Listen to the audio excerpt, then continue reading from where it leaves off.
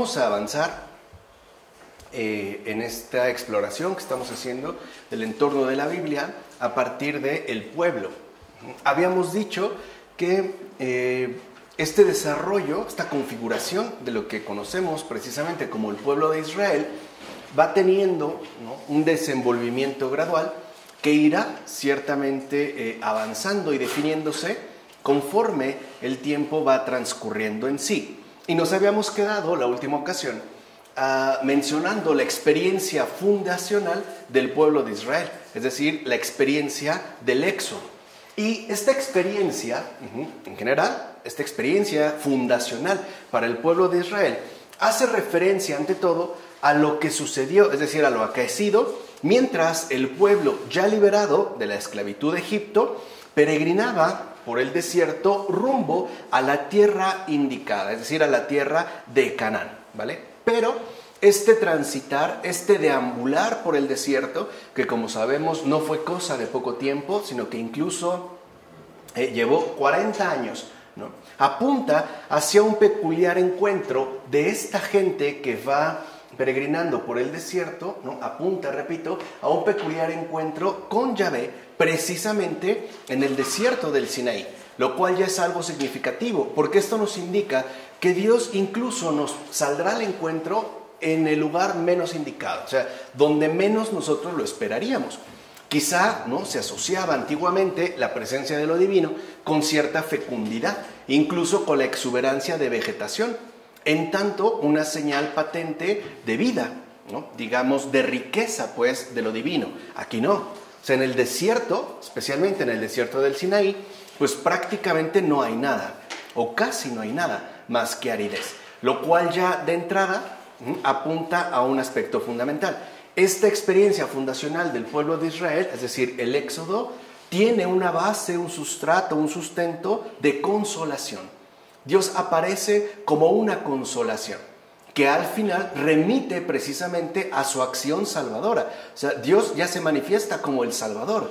Y esta salvación, que no va a ser algo abstracto, sino que a su vez está eh, referido a las experiencias concretas de la vida humana, también en efecto trae consigo pues eh, eh, una experiencia fundamental de consolación. Entonces, en este contexto que acabamos ahorita de mencionar, ¿no? de la salida de Egipto y de la experiencia de encuentro con Yahvé en el desierto, pues, en, este, en esta experiencia, que simboliza precisamente ¿no? el encuentro con Dios en lo más desértico de la vida, o sea, en los momentos más complicados que podemos llegar a experimentar, porque humanamente hablando, todos también tendremos momentos de aridez fuerte, momentos de dificultades humanamente serias, que pueden darse en todos los niveles. Por ejemplo, habrá momentos desérticos, en este sentido que acabamos de mencionar, por ejemplo, a través de crisis económicas o crisis personales. E incluso también habrá desiertos espirituales, emocionales, afectivos, etc. Pero ahí también, ¿no? Lo primero que debemos entender es que cuando nosotros atravesamos estas experiencias importantes de la vida humana, debemos de entender que lo que ahí pues se nos propone es el encuentro con Dios justo en esas experiencias, ¿no? Difíciles, a veces pueden ser incluso dolorosas, pero que al final apuntan a este encuentro, o sea, al encuentro con Dios. Entonces, justo por ello, es pues, ¿no? En esta experiencia fundacional donde encontraremos la raíz más profunda del culto exclusivo que será tributado a Yahvé, porque aquí ya se ha manifestado él a sí mismo como Yahvé como yo soy el que soy. Ahora, este culto es el que va a definir de una vez por todas lo siguiente, y es la base precisamente del culto que el pueblo de Israel, que ha tenido el encuentro con Dios, va, eh, digamos, a establecer, que Yahvé es el único Dios. O sea, a partir de esta experiencia fundacional del pueblo de Israel, para este pueblo algo le va a quedar extremadamente claro, no hay dioses, Dios es solamente uno. O sea, solo hay un Dios, que es algo que, por ejemplo, va a expresar también de manera muy clara el profeta Oseas, capítulo 13, versículo 4. Yahvé es el único Dios. Ahora, Naturalmente, esta unicidad de culto, basado en la raíz que hemos mencionado, pues tardará varios siglos en abrirse paso poco a poco para poder consolidarse como algo definitivo entre la gente del pueblo. O sea, las cosas de Dios no se dan de manera ni mecánica ni automática. Son cosas que requieren incluso una, una un esfuerzo de asimilación a muy largo plazo. ¿Entiende? Ya la habíamos visto con Florensky. O sea, toda manifestación que verdaderamente viene de Dios lleva su tiempo para poderse asimilar. Veamos desde ya la revelación de Jesús, el Hijo de Dios, donde ha quedado claro que Dios es uno, ¿no? Y tres, Padre, Hijo y Espíritu Santo, llevamos más de dos mil años y todavía no lo asimilamos del todo. Probablemente nunca lo logremos. Hemos tenido muchos avances, se ven los padres de la iglesia, en los grandes teólogos, etcétera, los grandes santos sobre todo, pero sigue siendo algo pues que nos va nutriendo de manera gradual. O sea, este culto basado en esta raíz, ¿no? Importante de que Yahvé es el único Dios y no hay más, va a tardar su tiempo en irse consolidando. De hecho, durante mucho tiempo, incluso a partir de esta experiencia que el pueblo de Israel vive en el desierto, ¿no? la gente en general va a seguir participando en otro tipo de cultos, que van a ser tanto locales, o sea, dependiendo de la región, en particular, vamos a decirlo así, eh, rituales ah, esencialmente cananeos por la región en la que se realizan, como tribales. Ya dijimos que en estos, en estos tiempos, ¿no? Cada tribu tiene un dios particular, tiene una deidad, pues para eh, distinguir, ¿no? Del dios único de las deidades. Tiene una deidad particular. Y la gente a veces, entre la relación que tiene, debido a su carácter seminómada, y a la, estrecha relación que van a ir estableciendo con estos pueblos, también ¿no? el pueblo de Israel participará entonces de otro tipo de cultos. Ahora, no obstante, ¿no? el fuerte impacto que causó esta experiencia de liberación y del encuentro con Yahvé en el desierto, o sea, esta experiencia fundacional de consolación, sí se conservó fielmente en la memoria colectiva de todos aquellos que lo vivieron. Y esto es algo importante. Dios queda arraigado no como una teoría o una idea, sino como una experiencia vivencial que ciertas personas han tenido. Y estos son los testigos de la acción divina en este mundo. Y por ende serán los depositarios de un encuentro vivo con Dios, con Yahvé, que a su vez tendrá que ser transmitido a las generaciones posteriores. Esta dinámica no ha cambiado. Por ejemplo, San Francisco de Asís, por mencionar ahorita un caso, un San Ignacio de Loyola, tiene un encuentro particular con el Señor. Y él es testigo de transmisión, a su vez, de esta experiencia fundacional, tan fundacional que incluso de ahí se generarán fundaciones religiosas. Por ejemplo, los franciscanos, que parten pues, ¿no? o mejor dicho, se nutren y dan continuidad a esta experiencia fundacional. Bueno, en consecuencia, la estrecha relación personal que se fue estableciendo entre el grupo del Éxodo, la gente que vivió realmente esta experiencia, ¿no? y el Dios Yahvé, cuya compañía y protección experimentaron en condiciones extremas, tan extremas que no había ni qué comer ni qué beber. O sea, eh, pensemos si puede concebirse algo más extremo para la supervivencia humana. O este grupo de gente ¿no? que experimenta resultó ser algo inolvidable. Cuando Dios se manifiesta de manera concreta en una vida humana, nunca se olvida. O sea, va a ser como un parteaguas, ¿no? De hecho, establece un antes y un después. Y va a ser la referencia esencial para la reconfiguración de todo lo que vaya a suceder después, en términos vivenciales e incluso también en términos colectivos. ¿Vamos? En síntesis, la experiencia de Dios Yahvé que tuvo el grupo del Éxodo dejó en todos ellos una marca vital por demás perdurable. Quedaron, si lo quieren ver así, marcados por esta experiencia y van a quedar marcados de por vida. No es algo que se borran. Eh, la presencia de Dios no es algo episódico, ni siquiera es algo transitorio. No es algo cuyo efecto eh, se pueda eh, borrar de un modo u otro. No, el impacto que Dios genera a través de su manifestación es algo ciertamente perdurable. Por eso, algunos de estos que lo han vivido se van a esforzar seriamente por conservar el recuerdo vivo de lo que ahí ocurrió. O sea, recuerden que lo importante finalmente en relación con Dios es lo vivido, o sea, es la experiencia, no tanto la formulación teórica, sino la experiencia, que si lo vemos es, como dijera en su momento Hans Urs von Balthasar, la fuerza alfa de los apóstoles. Al final, ¿qué es lo aquello que daba autoridad a los apóstoles? No sus escritos, su experiencia de vida. Eso es literalmente lo que los autorizaba. Este es el recuerdo vivo, o sea, una experiencia de vida concreta.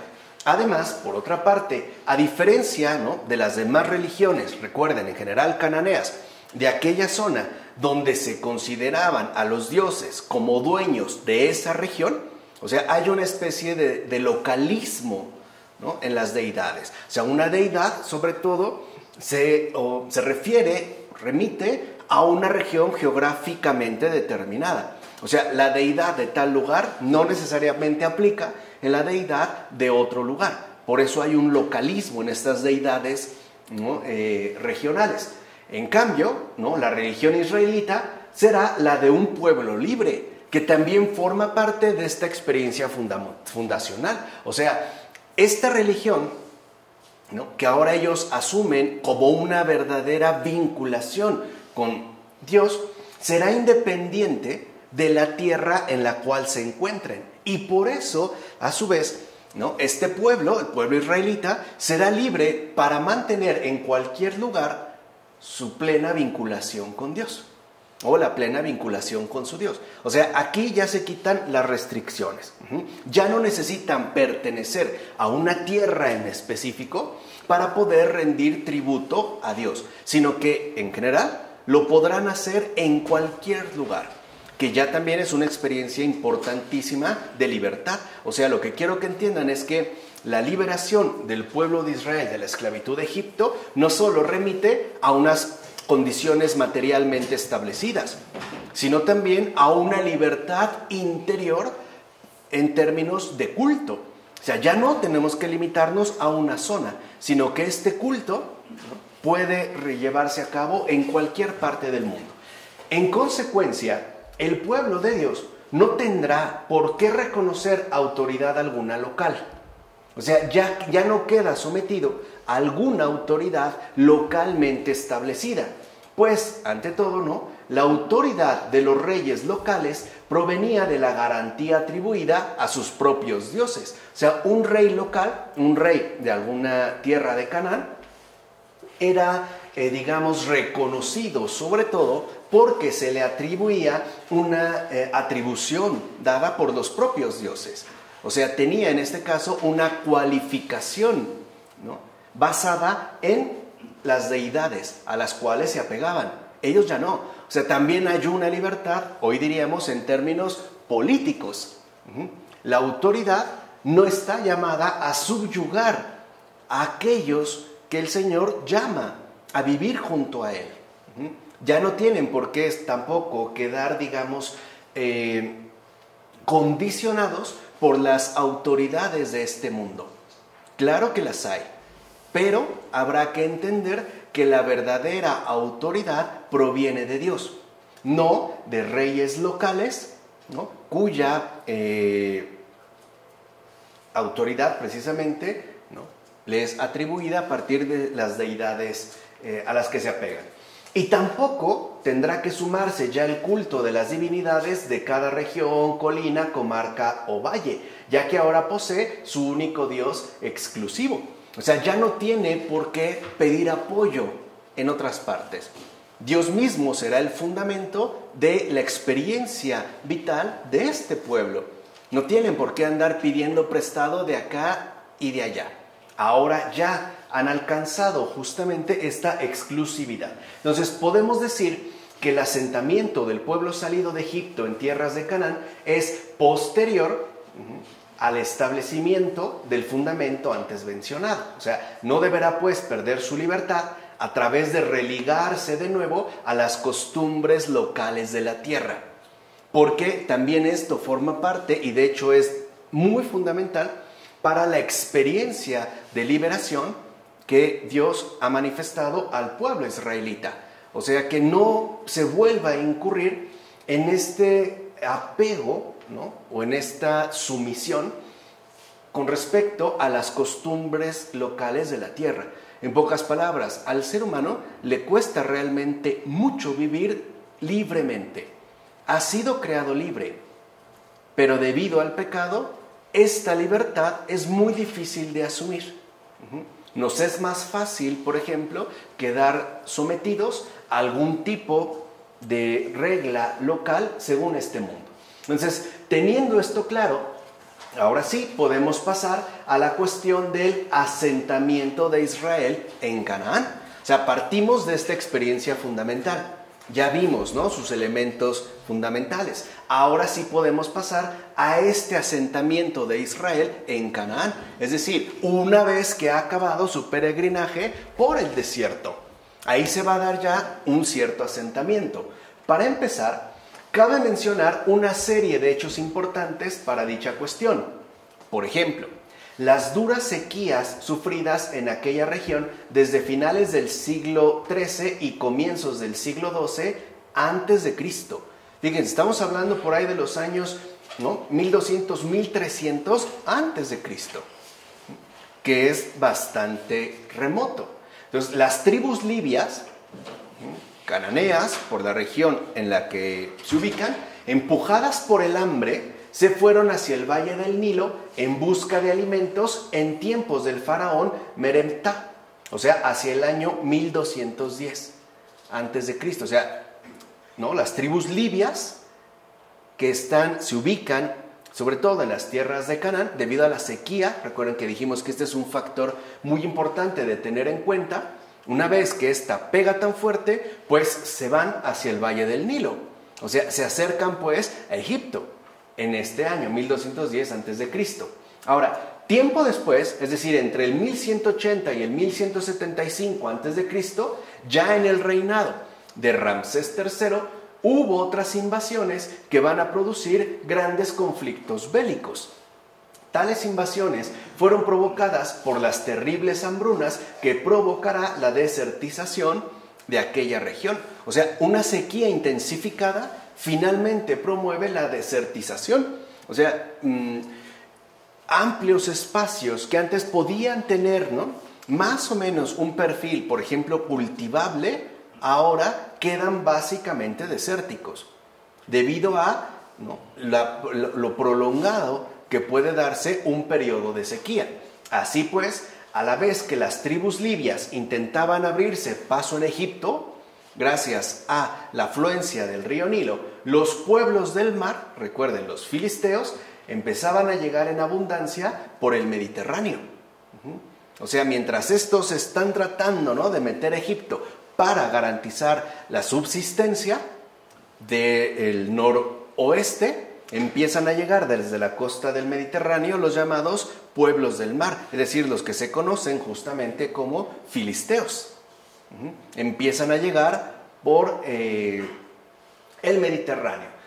Estas gentes intentaban desembarcar en el litoral egipcio, pero también intentaban hacerlo en la costa cananea, Fenicia, Siria e Hitita.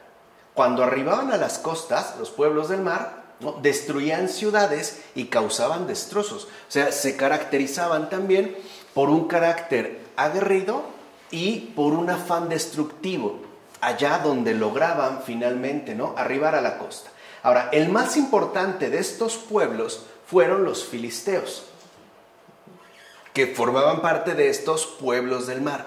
El más importante eran los filisteos, que al ser rechazados por los egipcios de la zona costera del delta, entonces se van a establecer en la costa cananea. Digamos, son rechazados por los egipcios más al sur, pues ahora se van a ir más al norte, en lo que hoy conoceríamos más o menos como la costa palestina. Más o menos para tener como una ubicación, los filisteos. Fue ahí donde estos van a ocupar cinco ciudades importantes. O sea, cinco ciudades cananeas importantes. Gaza, Ascalón, Asdod, Gat y Ecrón. Los filisteos reedifican estas ciudades y las fortifican. Recuerden, cuando hablamos en estos tiempos ¿no? de la región cananea de ciudades, no pensemos en grandes asentamientos ya desarrollados. Pensemos más o menos en aldeas ¿no? no tan grandes que tienen sobre todo la particularidad de un asentamiento más o menos definido. Bueno, en estos puntos los filisteos ¿no? llegan, las reedifican y las van a fortificar. Mientras tanto, esto está ocurriendo, dijimos, en esta zona costera, ¿no? Mientras tanto, las ciudades del interior se debilitaron por la crisis demográfica que fuera causada tanto por la hambruna como por la antipatía de la población campesina. O sea, ya no podían vender lo poco que tenían a disposición. O sea, por una parte la hambruna también cobró muchas vidas. Dijimos, hay un periodo ¿no? prolongado de sequía. Y la población campesina ya no puede vender lo que tiene a disposición. Una, porque ya es poco. Y dos, apenas le alcanza para el propio consumo. Lo cual también se veía reflejado en la intensificación de esta hambruna, o sea, en la crisis demográfica. Además, los campesinos no encontraban ya seguridad alguna en las ciudades, ya que Egipto concentraba sus esfuerzos militares en hacer frente, por una parte, a las tribus libias que dijimos, ¿no? Bajan a Egipto tratando de quedarse ahí. Y por otra, también los egipcios concentran sus esfuerzos en frenar estos intentos de conquista de los pueblos del mar. Recuerden que toda esta región del Oriente Próximo en estos tiempos estaba bajo el dominio egipcio. El imperio dominante en estos tiempos es Egipto. Y tanto ¿no? Los, las eh, tribus libias como los llegados o los recién llegados pueblos del mar, de entre los cuales, dijimos, destacan los filisteos, eran finalmente invasores. Estaban invadiendo un territorio dominado por Egipto. De hecho, Egipto tuvo que utilizar toda la potencia de sus ejércitos para frenar el avance, lo cual hizo entonces que Egipto se tuviera que replegar en su territorio. O sea, de alguna manera enviara, ¿no? A combatir estos invasores y entonces ahí se centrarán sus fuerzas y por seguridad se replegara Egipto en su propio territorio. De este modo, las regiones montañosas del interior de Canaán se vieron libres del control de las potencias extranjeras y por ende también se van a ver carentes de un gobierno local estable. O sea, las autoridades egipcias se fueron. Ese digamos, sobre todo estas regiones montañosas, pues van a quedar carentes de un gobierno. Las autoridades oficiales ya no están ahí. Los egipcios se regresan por propia seguridad. Y estos territorios pues quedan ciertamente, ¿no? Eh, a merced de aquellos que ostenten pues un, eh, digamos, un poderío más organizado. Esto va a provocar diversas revueltas campesinas. Los palacios reales de las ciudades de esta región van a ser destruidos. Entonces el sistema social en su conjunto se va a ver seriamente afectado. Así pues, a lo largo del siglo XII a.C., la población campesina se irá organizando en pequeños núcleos autosuficientes. Como no hay una autoridad central ¿no? que regule pues todo el tejido social, entonces, sobre todo la población campesina que aún se conserva en esta región, se va a empezar a agrupar en lo que hoy llamaríamos pequeñas comunidades rurales. Estas pequeñas comunidades rurales, en tanto núcleos autosuficientes, van a permitir que a su vez se dé un proceso gradual de sedentarización, en particular en aquellos grupos que tienen ah, una dedicación plena a la cuestión ganadera. O sea, necesitan pues una tierra fija para que sus respectivos ganados puedan estar pastando. No los pueden pues estar trasladando tan fácilmente de un lugar a otro. Además, con tal tipo de sedentarización, asimismo se fomentaron recursos agrícolas que permitan hacer cultivables las tierras circundantes y por ende que las vuelvan mediante estos recursos agrícolas fértiles y productivas. De hecho, en toda la región sirio-palestina hubo un notable incremento de la población en las colinas. Vean, ya no en las ciudades, sino en las zonas montañosas. las cuales de ordinario empiezan a formar pequeñas aldeas que tendrán a su vez un cierto número de pequeñas defensas. Acuérdense, es un territorio finalmente hostil, lo dijimos desde el principio. Pues la gente que está tratando de asentarse, pues también no puede pasar por alto la necesidad de defensa. Ahora, estas nuevas poblaciones, al ser como dijimos, ¿no? Ciertamente pequeñas y contar a sí mismo con pequeñas defensas, pues van a ir creando lazos, sobre todo de defensa y cooperación, que quedarán establecidos a partir de un parentesco estable. O sea, necesitan irse aliando unos con otros en base a un vínculo de parentesco que no sea eh, fácil o fácilmente deteriorable. ¿no? Necesitan una base de vinculación importante. Y también irán estableciendo criterios de explotación eh, con respecto a las tierras cercanas. O sea, se van a ir organizando poco a poco, ¿no? Así pues, entre los habitantes de las aldeas más cercanas entre sí, se van a ir configurando ciertos clanes. Fíjense, pasamos de estos grupos, ¿no? Que empiezan más o menos a mostrarse sedentarios en las regiones montañosas a una alianza de parentesco que irá dando pie a los llamados clanes, que a su vez ¿no? compartían cierta fraternidad con otros clanes de la comarca más cercana. Esto, este conjunto de clanes más o menos cercanos y fraternos entre sí es lo que dará pie posteriormente a la conformación de tribus. Entonces, las tribus, entiéndase, agrupaciones de estos clanes pequeños que se van eh, vinculando de manera fraternal, es decir, basados en lazos de parentesco, van a mantener a su vez lazos sociales en común. De hecho, estas tribus van a ir sustituyendo poco a poco el dominio extranjero hasta quedar convertidas ya en un elemento social y político específico de Canaán. O sea, ya no necesitan pues de eh, el dominio extranjero, en particular egipcio, para mantener un cierto orden. Ahora, estas tribus estas agrupaciones de clanes ya podrán establecerse como un criterio organizativo propio de esta región. Entonces, en poco más de un siglo, estamos hablando, ¿no? Poco más de 100 años, las nuevas aldeas crecieron notablemente. En su mayor parte, los nuevos asentamientos se hicieron sobre terrenos hasta entonces deshabitados. Dijimos, era importante localizar nuevos espacios que contribuyeran al, mejoramiento del conjunto social que se está estableciendo. Y por ende también los estilos de vida van a cambiar drásticamente.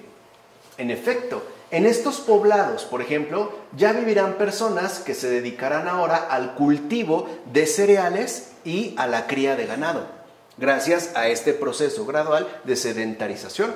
Tienen ya criterios, pues, rurales de organización. Incluso van a contar con cisternas para guardar el agua, el grano, el aceite y el vino, que van a ser los cuatro elementos fundamentales de estas tribus cananeas.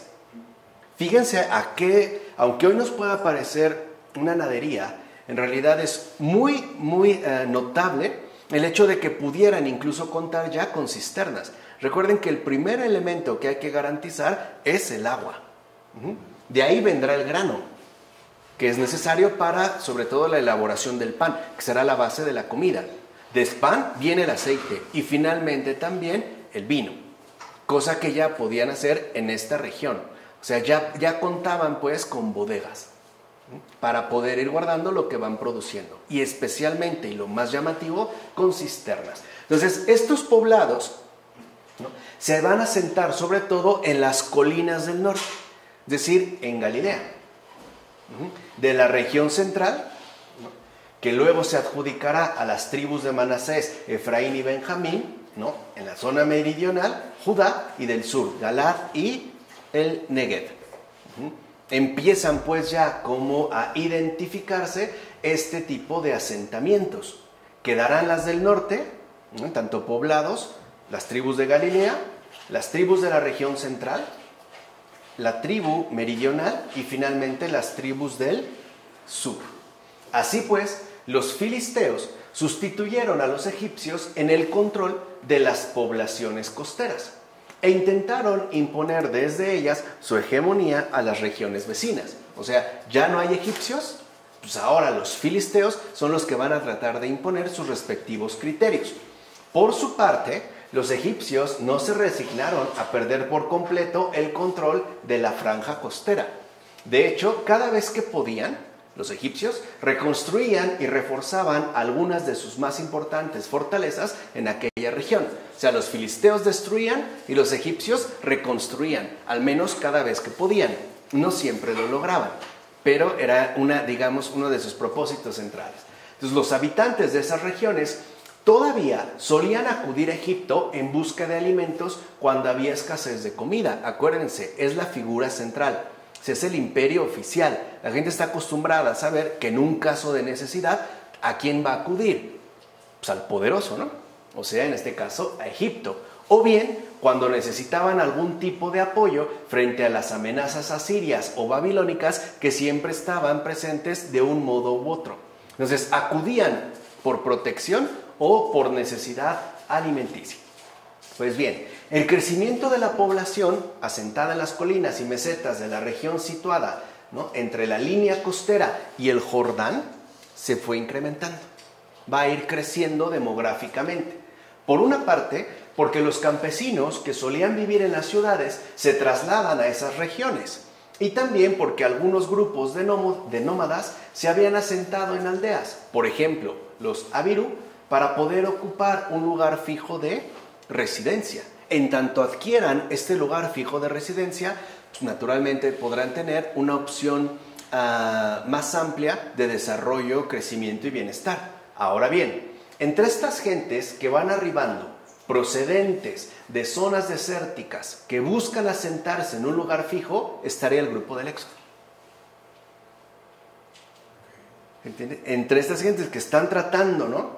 De asentarse en un lugar fijo, y que van arribando gradualmente, estaría justo el grupo del Éxodo. El grupo del Éxodo sería un rico fermento transformador para todo ese conjunto social en formación. ¿Por qué? Porque había pasado muchos años viviendo en Egipto. O sea, llega literalmente como un forastero, pero también llega con una riqueza de aportación esencial en términos generales. Entonces la sociedad que se había estado formando en la región de Canaán se basaba principalmente en un sistema de relaciones de parentesco, de parentesco y en la colaboración mutua para poder afrontar juntos los trabajos agrícolas, pastoriles y de defensa.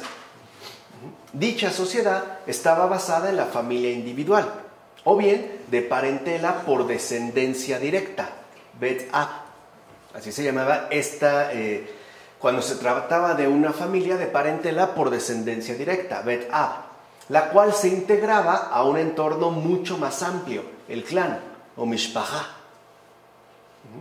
Se pasaba del Bet Ab, que era una familia, a un clan, Mishpaha, el cual estaba constituido por las familias de la misma aldea o incluso de otras aldeas cercanas, que podían haber contraído algún tipo de parentesco eh, estable. Cada familia, cada una de estas familias que dijimos, ¿no? Se agrupaban en, clanes, tenía sus propios bienes hereditarios. Najalá, que es a lo que se remitía estos bienes. Sus propios miembros eran los que cultivaban sus campos o bien los que cuidaban sus ganados. De ahí es donde van a obtener el sustento necesario. O sea, cada familia pues se ocupa de lo suyo. Cuando hay necesidad, se agrupan. Cuando no, no. Pero a su vez ya constituyen un clan más o menos definido. O sea, ya saben con quién cuentan y a quién pueden acudir en busca de apoyo. En cambio, cuando llegaba el momento de buscar esposa para el matrimonio o cuando se requería una ayuda especial que ya este pequeño entorno familiar no podía cubrir por sí mismo, entonces ya se buscaba apoyo en el clan. O sea, solo bajo estas dos condiciones. Se acudía al clan, a las otras familias que ya estaban. Eh, digamos, más o menos cercanas entre sí, en busca de una esposa. O bien cuando había una necesidad que este pequeño entorno familiar ya no cubría. A lo mejor eh, este pequeño entorno familiar ya no tenía aceite, o agua, o vino, o grano. Bueno, entonces se acude al clan para poder eh, resolver eh, y solventar estas cuestiones. A su vez, los distintos clanes se agrupan en tribus. Entonces vemos cómo el núcleo fundamental de todo es el entorno familiar. De ahí vendrían los clanes, que sería una agrupación de familias de parentesco o bien más o menos cercanas entre sí, y a su vez estas agrupaciones familiares se eh, o dan pie a lo que llamamos tribus. Estas tribus poseían lazos convencionales de cercanía e intereses comunes por supuesto, mucho menos estables que los que eran meramente familiares. Por eso nos damos cuenta que un clan podía estar integrado en una tribu y después, según las circunstancias, separarse de esta tribu para quedar agregada a otra tribu vecina. Había como un espacio mayor de movilidad.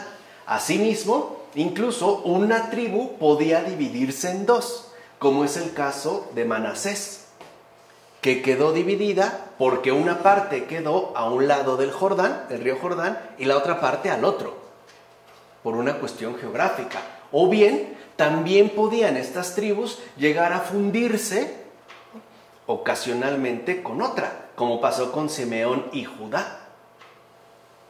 En realidad, no había una autoridad política que tuviera poder sobre todo el territorio. De ahí pues que las aldeas actuarán con independencia unas de otras. O sea, se ajustan y se organizan en base a las necesidades y también en base a las exigencias que implicaba esta configuración social. Es más, podía darse el caso de que se formara una suerte de coalición regional amplia, mucho más amplia. Tal tipo de entidad entonces ya agrupaba diversas tribus, pero evidentemente era sumamente inestable, porque no había una organización centralizada. Por ejemplo, si llegaba a lo mejor, no sé, un intento de invasión babilónica o asiria, entonces ahora sí, se juntaban todas las tribus, que en principio no tenían tanta relación entre sí, para hacer frente. Pero era complicado de sostener esta coalición, porque cada tribu tenía unos intereses particulares. E incluso dentro de esta tribu, cada clan tenía a lo mejor ¿no? Eh, determina o, ah, intereses mucho más específicos o diferentes, que incluso podían ser ya absolutamente distintos al nivel de las agrupaciones familiares. Pero bueno, funcionaba bajo condiciones muy especiales. De hecho, lo que vamos a ver es que solo bajo circunstancias específicas, por ejemplo, alguna situación particularmente grave que afectara la vida de varias tribus, o sea, alguna situación que de verdad se extendiera a lo largo de un amplio territorio, se formaba este tipo de entidad. Pero una vez que el peligro pasaba, se deshacía esta coalición. Es, por ejemplo, lo que se va a expresar varias veces en el libro de los jueces. ¿Mm? Se agrupan, pasó el peligro, ya, cada quien a su casa, diríamos hoy. ¿no? Así pues, Israel estaría formado tanto por población autóctona como por los grupos procedentes de regiones desérticas, entre ellos, como dijimos, del grupo del Éxodo. Entonces tendríamos así dos tradiciones básicas a tener en cuenta. Por un lado estarían los padres del pueblo. Los padres del pueblo en tanto jefes de familia locales, como Abraham e Isaac. Y, por otro lado, la tradición que remite a los padres que salieron de Egipto.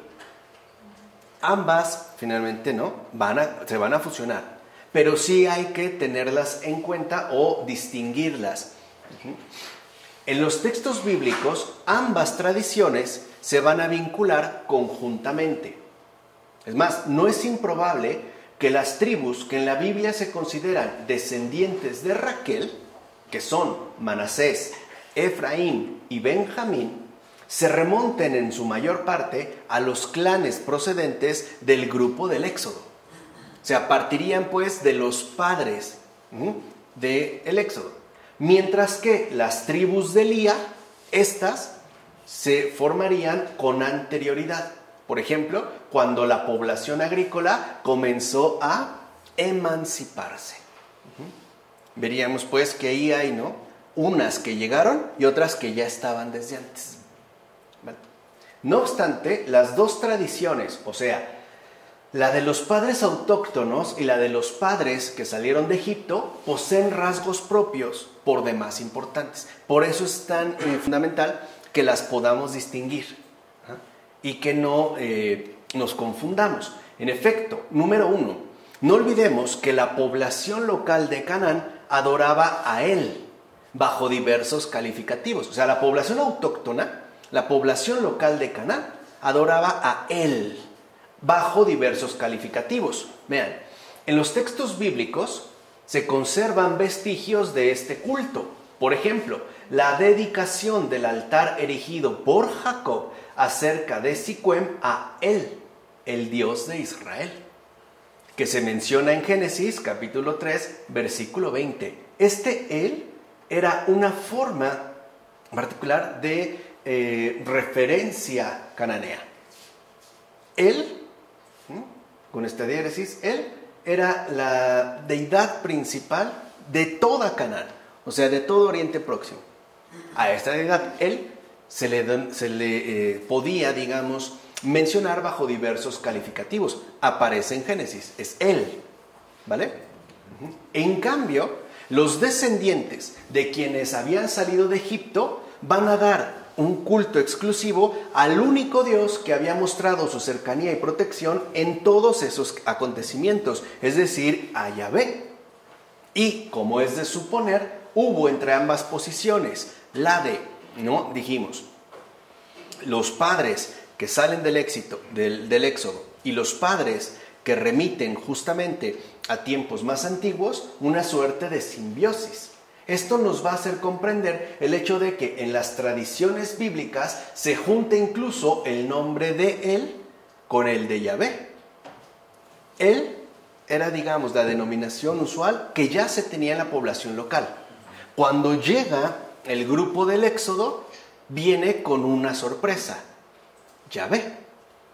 Y al final terminan, en efecto, ¿no? Como vinculándose de manera fundamental.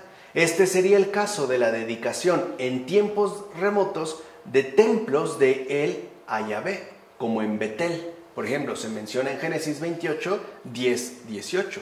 En Génesis nunca se habla de Yahvé. Se habla principalmente de Él. Cuando ya, por ejemplo, se utiliza también el nombre de Yahvé, es porque los padres del Éxodo, o hasta ese momento, es que se pudo poner por escrito el Génesis. O sea, no crean que el Génesis viene desde entonces. Es de hecho después del, Éxodo. Sería un escrito, en todo caso, post-exílico, que a su vez remitiría a tradiciones vivas y orales transmitidas a lo largo de generaciones. Porque estamos hablando, dijimos, de lo principal, que es la experiencia viva. O bien la utilización del toro o becerro. ¿Se acuerdan en el desierto? que hacen el becerro de oro. Bueno, que a final de cuentas también eran representaciones cananeas típicas de él y que también se van a conservar como imágenes populares de Yahvé. O sea, pareciera, ¿no? Que él y Yahvé serían lo mismo. Esta tradición cananea con esta, eh, digamos, ¿no? Tradición que llega a partir del, del éxodo. Naturalmente, la meditación sobre las experiencias de protección divina de las que eran portadores los descendientes de quienes protagonizaron al Éxodo, unidas a las realidades inmediatas que estaban viviendo junto a los que ya estaban asentados en aquellas tierras desde hacía tiempo, va a ayudar a, identificar algunos aspectos del culto a él, dijimos, ¿no? Localmente cananeo, con el culto que ahora va a ser dispensado a Yahvé revelado en el desierto del monte Sinaí. Y al mismo tiempo, a pesar de que hay cercanías, se van a marcar distancias con respecto a las representaciones populares de él como rey de los dioses. según, por ejemplo, el panteón cananeo. Porque dijimos, a partir de Yahvé algo queda claro, no hay dioses, Dios solo es uno. Además, el culto cananeo dedicado a él establecía una marcada vinculación con la religión oficial de aquella región. O sea, era parte pues de una eh, costumbre donde a la autoridad local, al rey, se le atribuía incluso una dimensión divina o cuasi divina. La cual se remontaba a siglos anteriores según la supremacía de los imperios dominantes. De aquí que en los textos bíblicos, al mismo, al mismo tiempo que se menciona a él el Dios de Israel, por ejemplo en Génesis 30:20, también se entonen himnos a Yahvé, Dios de Israel, como ocurre en jueces. Yahvé y él, que son, digamos, expresados de esta manera, terminan siendo Dios de Israel. Así pues, en la sociedad que iba emergiendo en los nuevos asentamientos de Canaán, los núcleos familiares, los clanes y las tribus van a ir reconociendo paulatinamente como protector a Yahvé, que es el Dios traído por el grupo del Éxodo. Esto es importante. Acuérdense, la gente que vive ahí, al final, ¿a quién rinde culto? A Él. El grupo del Éxodo que llega ahora presenta a Yahvé. Lo tienen también que aprender a conocer y más que conocer, a reconocer. Yahvé entonces ¿no? sería en aquel contexto un Dios procedente del desierto. Y por eso es tan importante mencionar que justo porque es un Dios procedente del desierto, resulte completamente ajeno al panteón cananeo, que es fundamental. Recuerden, él era el rey de los dioses, vamos a decirlo así, de los dioses conocidos. Pero a este nadie lo conocía. Este lo ha traído un grupo de gente que ha vivido una experiencia fundacional muy particular a través de un peregrinaje por el desierto. Pues Yahvé no pertenece al panteón cananeo, nadie lo conoce, lo cual tiene una significación profunda, porque Yahvé en efecto viene de otra parte, o sea, no es un invento humano, no es una deidad entre otras deidades. No es, si lo quieren ver así, ¿no? De manera literal, el Dios conocido, incluso como Él, según el contexto cananeo, es el Dios desconocido. ¿Es el, ¿Es el que le llaman el Dios desconocido? Claro. Incluso que después va a llevar, ¿no? Que va a anunciar Pablo, por ejemplo, ante los griegos. Pero aquí es el Dios desconocido porque nunca nadie había escuchado hablar de Él. No forma parte, pues, del el catálogo de deidades que sí eran conocidas en tierra de Canaán. Y este Dios, ya ve, que se ha revelado, que se ha manifestado a este pueblo, que se ha dado a conocer a este pueblo en el desierto, no es localizable. Viene pues de otra parte. Además, se trataría de un Dios no ligado a un territorio en específico ni a su respectivo rey, como sí ocurría entre los grupos cananeos. Por ejemplo, se hablaba de cierta divinidad de cierta deidad y entonces se asociaba de inmediato con una región, como si aquí habláramos en términos del dios de la alcaldía Benito Juárez, del dios de Miguel Hidalgo y del alcalde de ese lugar. ¿No? ¿Cuál era la deidad de una región y de su rey? Aquí no, porque lo que más destacaba en el caso de Yahvé, traído por esta gente que ha vivido ¿no? el éxodo, es que este Dios se vincula y relaciona más bien con grupos humanos, en concreto, que eh, no importa dónde se encuentren. ¿Se entiende? O sea, ahí es como esta relación de libertad. Mientras que en Canaán, o en tierras de Canaán, una deidad sobre todo era vigente en su territorio y en la persona de la autoridad correspondiente, Yahvé no. Yahvé no es no se presenta, vamos, siguiendo los mismos criterios que la religión cananea. Porque este Dios no remite ni a un territorio, ni tampoco a un rey aquí. ¿Quién es la gente que llegó? ¿Quién es su rey?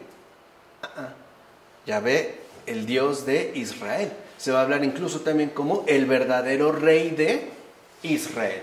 En todo caso, Yahvé es un Dios que no contemplan como un total extraño y eso es lo importante. Sino que lo empiezan a asociar la gente local de Canaán con alguien que da respuesta real a sus expectativas. O sea, no es una deidad impuesta, algo que no tiene nada que ver conmigo, sino que, por el contrario, parece manifestarse como alguien cercano y especialmente cercano en necesidades drásticas y dramáticas. O sea, es, digamos, la primera comprensión de que Yahvé es un Dios vivo, no una deidad formal, no un mero formalismo religioso, sino que es un Dios vivo, ¿vale? Es así como se fue consolidando tanto la soberanía de Yahvé como la solidaridad, que es una comunión, ¿no? Más allá de lo habitual entre las tribus de aquella región. O sea, ¿quién realmente logró realizar esta comunión más allá de lo habitual? Pues Dios mismo. De hecho, un complejo social tan, tan desestructurado como aquel, que había estado sometido durante mucho tiempo a la soberanía de algún gobernante extraño, no aceptaba fácilmente la imposición de un gobierno cualquiera. Era lo que menos querían. Dijimos, o sea, en las tierras cananeas siempre, ¿no? La tierra cananea siempre estuvo sometida a diversos imperios extranjeros. O sea, nunca estuvo el imperio de Canaán. ¿Qué pueblo realmente salió ahí como triunfante en todos los sentidos? Ninguno. Siempre esta región estuvo sometida por gobiernos extranjeros. Por eso lo que menos querían es que ahora le trajeran una nueva autoridad a la cual someterse. Ya no querían estar, pues, ¿no? sometidos. En todo caso, solo sería capaz de aceptar la soberanía de su Dios, o sea, en este caso, Yahvé. Yahvé era tanto el garante de su libertad como el único con autoridad para reclamar, cuando fuera necesario, la solidaridad entre las diferentes tribus. O sea que ahora las tribus se van a unir por motivos y razones diferentes. Ya no como antes, ya no para defenderse, ya no solamente para protegerse, sino para entrar a formar también parte del culto a Yahvé. De hecho, la respuesta que según el libro de los jueces dio Gedeón al pueblo cuando estos le pedían que los gobernase, o sea, necesitamos a alguien, ¿no? Que esté al mando, hoy diríamos, necesitamos un líder que nos diga cómo hacer las cosas, que nos organice, etc. El pueblo le pide, ¿no? A Gedeón, y según el libro de los jueces, porque éste ha salido victorioso sobre los madianitas, Gedeón, ¿no? En el libro de los jueces, ilustra bastante bien lo que acabamos de decir. ¿Qué se dice ahí en el libro de los jueces, capítulo 8, versículo 22? ¿Qué dijo Gedeón? No os gobernaré ni yo ni mi hijo Yahvé será quien nos gobierne. O sea, no se trata de una cuestión netamente política. Aquí la religión y la política ya no van de la mano. Se trata de aceptar una gobernanza providencial que implica e involucra la experiencia total de la vida. Este es el verdadero gobierno. O sea, el gobierno de Dios, por decirlo así, no es un gobierno políticamente despótico, sino que por el contrario, es una gobernanza netamente providencial, de auxilio, de ayuda, de socorro, etcétera, etcétera, etcétera. Por eso, aunque el pueblo, ¿no? cuando Gedeón, se menciona en el libro de los jueces, venció a los madianitas, y este le dice, pues ahora tú, ¿no? Te vas al trono, él dice, no, ni yo ni mi hijo, porque eso era lo usual en ese tiempo. Si alguien alcanzaba ¿no? el trono, ¿quién seguía? Pues el hijo. Y así, se iba dando de manera sucesiva. Aquí no, aquí se insiste en que la verdadera gobernanza no es humana. Por eso es lo que les decía, es una gobernanza providencial, no es un gobierno impuesto por autoridad humana. Es una gobernanza divina, providencial, que además de socorrer en todas las situaciones de la vida, propone sobre todo la instauración plena, concreta, decisiva de la libertad en la experiencia humana. Es una gobernanza de libertad. Todo lo contrario a lo que ocurre en este mundo. Ya sabemos que los gobiernos políticos no son para dar libertad, son para coaccionar y son mecanismos de control. Entonces es justo lo contrario. Ahora, por otra parte, en esta época tan anárquica, no, no todo está tan definido, tan organizado, etc., no van a ser infrecuentes las agresiones de los pueblos vecinos para que se pudieran apoderar de cultivos y ganados. También hay un conflicto constante por la adquisición de tierras. De hecho, estos dejaban marcadas huellas de destrucción tras cada una de sus respectivas incursiones. O sea, llegaban y arrasaban. Por cierto, en el libro de los jueces se hace una presentación muy realista, aunque literariamente elaborada con posterioridad, de la inseguridad en la que se vivía durante toda esa época, sobre todo teniendo en cuenta que no existía una autoridad política central que diera respuesta a toda la serie de ataques externos. Ahí se dirá en el libro de los jueces, Madián trató a Israel con mano dura. Se está hablando de la gente, ¿no? De la gente que ya se identifica como aquella que se dedica sobre, o mejor dicho, que se caracteriza por el culto tributado a Yahvé. Madián trató a Israel con mano dura. Ante su acoso, los israelitas se valieron de cavernas, se salieron huyendo, se tuvieron que meter en cavernas, de cuevas y guaridas que hay en las montañas.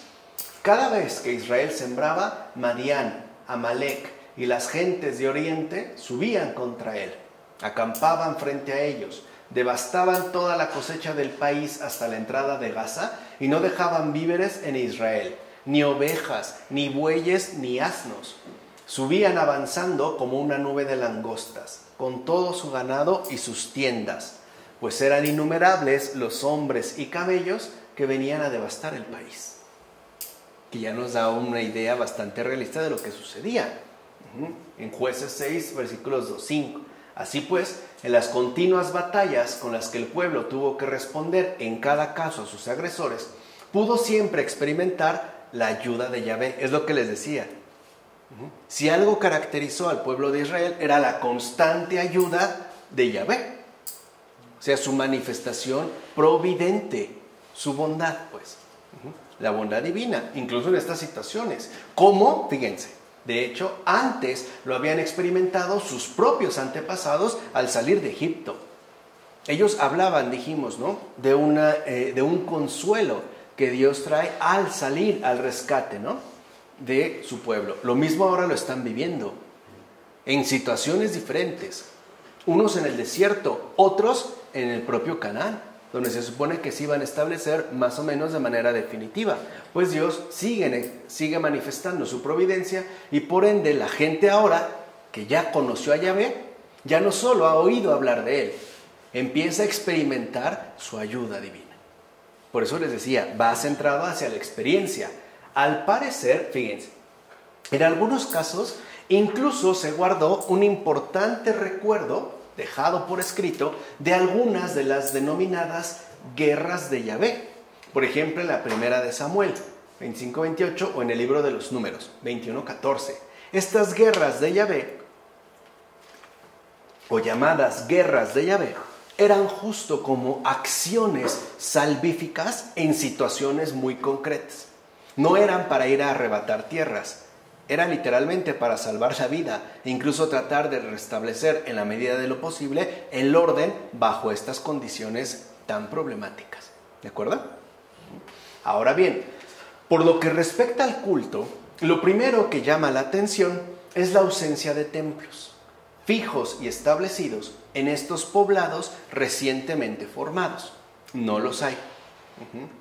Esto nos indica que los campesinos de los nuevos núcleos de población no consideraban aceptable que para el culto a Yahvé la actividad cultual se llevara a cabo en los santuarios locales. O sea, Yahvé, dijimos, viene de otra parte. No puede, pues, reducirse a lo mismo no es una deidad más, es, digámoslo eh, de esta manera, en este momento, es otra cosa. Pues no puede, pues, como ah, incrustarse de lleno en la actividad cultural acostumbrada, ni usar los santuarios locales. Sin embargo, si era frecuente que entonces acudieran a los altosanos, o sea, zonas más o menos elevadas, Bamot, es decir, espacios abiertos en lo alto de una colina, Aquí sí, no iban a un santuario local, utilizaban un lugar elevado. Se menciona en el primer libro de Samuel, en el segundo libro de Samuel o en el primer libro de los reyes. Y en tales espacios se reunían las familias para celebrar banquetes con motivo de los sacrificios de comunión, así como para festejar algunas solemnidades a lo largo del año. Ahí solía haber un altar, una estela de piedra y un árbol o tronco sagrado que originalmente eran símbolos de fertilidad tanto masculina como femenina. Por eso, tiempo después, estos espacios que formaban parte de la cultura autóctona de la zona serían reprobados por los profetas, ya que su simbología y las acciones cultuales que se fueron desarrollando en torno a ellos no se consideraría como un culto genuino a Yahvé. Pero esto después. O sea, el problema no es lo que los profetas dicen de estos momentos, es de lo que afirman en su momento. Aquí, o sea, un poco creo que tenemos esta imagen hollywoodesca de que Dios se manifestó, ¿no? No te decían ahí, la gente le quedó clarísimo, ya casi casi tenían el templo, y no es cierto, o sea, no fue así. Es algo que se va asimilando poco a qué, poco a poco. Cuando los profetas reprueban este tipo ¿no? De gestos, es porque ya ha pasado mucho tiempo y no les ha caído el 20. Aquí no hay problema. Tienes, es, un, es un proceso gradual de asimilación. O sea, el Señor se toma muy en serio nuestras condiciones concretas de vida. No nos va a pedir lo que no podemos. Lo vemos desde Abraham. ¿Cuánto tiempo pasó de Abraham a Moisés? Muchísimo. Y en ningún momento se le pidió, por ejemplo, a Abraham que hablara de Yahvé o que supiera que era Yahvé. Esto va a venir qué? Después. Es un gesto de consideración por parte de Dios mismo. O sea, claro, los profetas ya lo reprueban, pero porque ya ha pasado mucho tiempo y no les cae el 20, eso sí, pero no por esto que se realiza. Claro, los profetas precisamente van a intentar desarraigar a la gente de estas costumbres locales. En primer lugar, porque estas costumbres locales ya han sido suficientemente superadas por la cercanía y la manifestación de Yahvé. ¿Entiende? Ya no habría pretexto para seguir manteniendo unas costumbres que no corresponden con el culto que en efecto no debe ser tributado a Yahvé. ¿Se entiende? Cabe mencionar que entre los siglos 11 y 9 antes de Cristo se van formando pequeños estados que de hecho serán los protagonistas de la historia del Próximo Oriente ya en siglos posteriores. Fíjense, empezamos por ahí del siglo XIII. Han pasado más o menos entre 300 y 400 años. No es una cosa que se dé de la noche a la mañana, como nos la presentan las películas hollywoodenses, ¿no? Todo está clarísimo. No, la verdad es que no. Es algo que se va dando de forma gradual. Por eso es tan importante entender el entorno de la Biblia, o sea, esta total complejidad de lo viviente, la historia, pues, para que no nos quedemos con estas imágenes seductoras, pero falsas, al final, como si ya todo estuviera, eh, fuera plenamente claro, ¿no? En efecto, en la orilla nororiental de Genezaret, los gesuritas, de origen arameo, fueron controlando y organizando su propio territorio. Y lo mismo van a hacer los amonitas más al sur, o sea, en Transjordania. Y los moabitas van a hacer lo propio a orillas del Mar Muerto. Y los edomitas al este de Arabia. Y los amalecitas en el Negev. O sea, los amalecitas son los que se quedan más al sur. Cada una de estas agrupaciones está conformada por un conglomerado de tribus, que en todo caso se reconocen más o menos emparentadas. Y a su vez, como hemos mostrado, ¿no? se van a dividir en numerosos clanes. Pues bien, en el norte de la región, los clanes asentados en Galilea van a estar además ah, separados de sus demás congéneres, o sea, de los habitantes de las regiones centrales. Recuerden que está Galilea al norte, la región central y la región sur. Bueno, las del norte, los clanes que se han asentado en Galilea, estaban separados de sus demás congéneres, o sea, de las que se encuentran más al sur, en este caso en las regiones centrales, por el valle de, de Israel. O sea, lo que separaba a Galilea de las otras eh, aldeas, incluso tribus que se encuentran más abajo, las regiones centrales, estaban separadas por el llamado Valle de Yisrael, que era una amplia cuña de terreno controlada por los filisteos y los fenicios. O sea, esta, este valle de Israel, que ya creo que lo intuimos, suena bastante a Israel, es una de las líneas donde se va a reconocer a los israelitas por la zona, estaba dominada por filisteos, uno de los pueblos del mar que llegó por el Mediterráneo, y por los fenicios, que habían estos venido justamente también de la parte mediterránea. ¿Quiénes son los fenicios actualmente? Los libaneses, que van a ir avanzando también poco a poco. Bueno, así pues, la relación de esta gente con las que vivían en las colinas centrales no va a ser muy fluida. Una, porque geográficamente están separados por el valle de Israel. Segunda, porque atravesar este valle implicaba severos riesgos. Entonces la gente que estaba sobre todo en Galilea al norte prefirió irse quedando poco a poco en su lugar. Y esto produjo que con las aldeas que estaban más abajo, o sea, en las regiones centrales, ¿no? no hubiera realmente tanto contacto. Es más, no emprendían, de hecho, tareas comunes. Los de Galilea al norte se las arreglaban como podían y los de las regiones más centrales también. Se reconocían como vinculados, pero el trato, pues, era infrecuente. De hecho, en la región central aún quedaba en funcionamiento una ciudad importante, Sicuem. Aunque ya estaba potencialmente debilitada, todavía a partir de Sicuem se controlaban los alrededores. La población de Sicuem, recuerden, estamos en la región central, pasando el valle de Israel, estaba dividida en dos zonas. La que estaba al norte hasta Israel no tenía tampoco mucha comunicación con los del sur. Y aún entre ellos tampoco había mucha comunicación. Aunque si era cierto que los que habían quedado más al norte, los pedos a Israel, tenían más o menos contacto con los de Galilea. Pero entre los de Galilea y los que estaban más al sur, ya no. Ni entre ellos de la propia región central. En cambio, la gente del sur de Sicuem sí tenía más relación con los vecinos de la zona. Esto sí. Incluso más al sur de esta zona estaba ya la ciudad de Jerusalén, que quedaba bastante retirado y que aún se encontraba bajo el control de un grupo de cananeos. O sea, en estos tiempos, quienes controlaban la ciudad de Jerusalén eran los jebuseos. Los jebuseos eran literalmente, ¿no? Los que tenían bajo control esta zona y especialmente lo que después se va a llamar Jerusalén. Así pues, tanto en el norte como en el sur ya se empezaban a formar dos reinos distintos que dijimos, llegado el momento serán Israel y Judá.